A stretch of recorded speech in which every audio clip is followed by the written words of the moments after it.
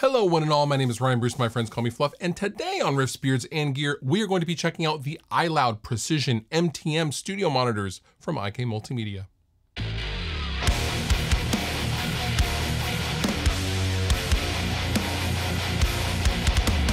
So I recently went to NAMM 2024, and that was my first NAMM since 2020.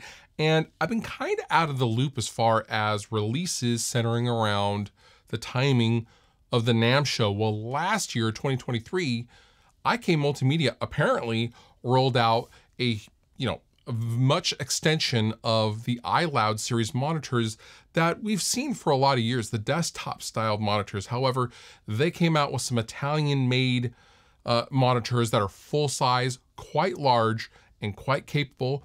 And I had no idea. And we're going to check out the biggest set from the MTM series, the MTM Precisions from IK Multimedia. Now, before we go any further, this video is brought to you by the fine folks over at Sweetwater. Sweetwater has all of the things for your studio monitoring needs, from the inexpensive to the really expensive and everything in between. Sweetwater's got you. I will link down below in the description for more information. So you're probably thinking what I was probably thinking upon seeing these monitors at NAMM. Since when does IK Multimedia make full-size giant studio monitors? I had no idea, and I was blown away by the entire, you know, iLoud line as it exists today. I had no idea these things were even a thing.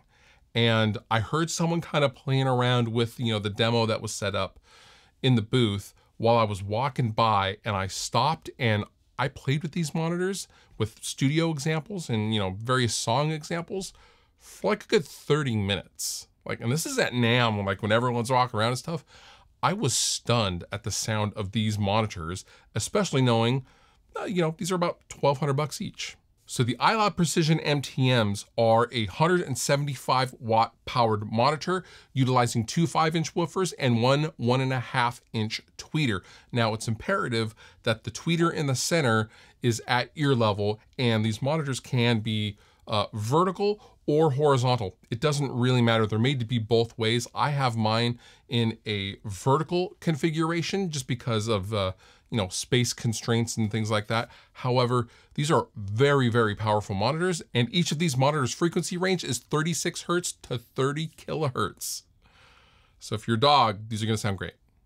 Now, each of these monitors comes with its own ARC microphone. You only need one to utilize the, the ARC room correction and the X Monitor virtual monitoring software, which we will get to in just a second. However, when you run your room correction, each microphone runs into a monitor. So you do a monitor one at a time, meaning you have to do the sets of measurements twice. But once you, you're done, you're then done. And also, if you are utilizing the X Monitor software, which we will talk about again in just a second, each one of these speakers needs to be hooked up to your computer via the included USB cable, right? So it's gonna cost you two USB ports if you're not using like, you know, the new ARC standalone hub. If you want to use utilize the standalone included in the built-in monitor ARC system, two USB cables. It's just the way it goes. Now the rear panel of the Precision MTMs feature a bevy of controls, including the XLR input for the aforementioned ARC microphone. However, there are many EQ points that you can um, basically customize the sound of the monitor to your environment if you want to do that by ear. Uh, so you have low shelf, high shelf, and a mid bump, as well as uh, a calibration indicator, off and on, and the USB jack and the level control. And you also have an eighth inch in and through for the hardware optional um, X monitor controller. So you can actually use the hardware buttons, a four button controller to switch between virtual monitoring, which is pretty cool. Okay, so you've used your included ARC microphone to run room correction and store the room correction onto the monitors. You are hooked into your computer via USB for each monitor. What do you do then? Let me introduce you to the X Monitor software. This is a virtual monitoring software system that you can see I have my corrected EQ profiles for each for my left and right, one being left, two being right. I can also look at my before, which before were pretty wild in here. All right. I have to have, I have to have the arc uh, correction software. All right. I have to have it because I'm above garage and I have this weird L-shaped wall right here. And it's just the way it goes. It's the best I can do to use something like this, which is incredibly helpful. But my EQ curve afterwards is pretty flat and usable. Once it knows what your room sonically sounds like, you can then go in and customize your four different presets, which again, you can have a hardware version on your desktop to select between these.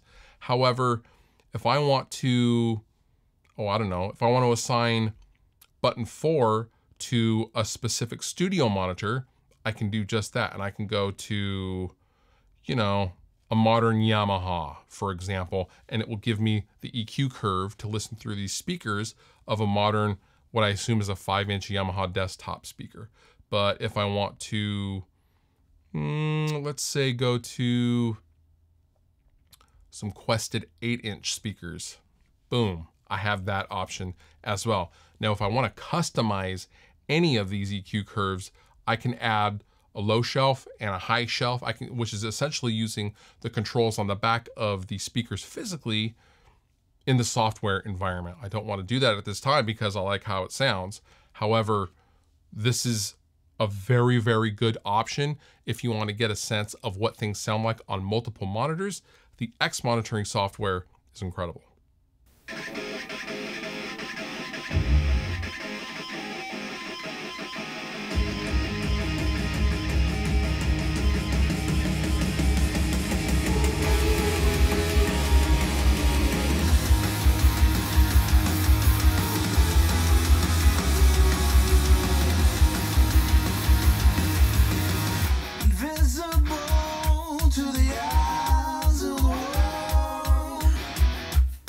see that.